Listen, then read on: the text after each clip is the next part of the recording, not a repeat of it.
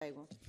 Grazie Presidente. Con molto orgoglio possiamo dire che l'Europa sta costruendo, caso unico al mondo e veramente per prima nel mondo, un'architettura di norme che cercano di dare allo sviluppo digitale così impetuoso, inarrestabile e anche molto utile, sta cercando di dare appunto regole, indicazioni eh, obblighi, opportunità e soprattutto responsabilità per gli operatori e per gli utenti, anche cittadini consumatori, da dare, dicevo, responsabilità perché dobbiamo operare tutti alla luce di un principio che è fondamentale per noi. La libertà e i diritti dei cittadini, così come quelli dei consumatori, devono essere salvaguardati e potenziati anche nello sviluppo dell'innovazione e del mercato digitale.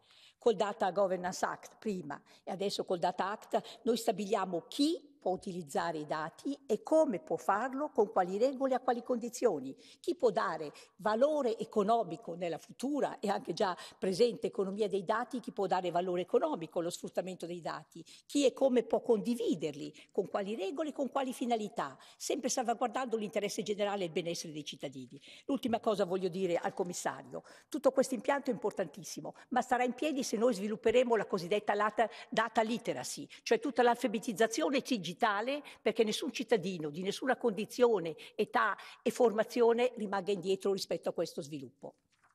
Grazie, grazie onorevole Toia. Ora ha facoltà di intervenire l'onorevole Virkunen. Prego.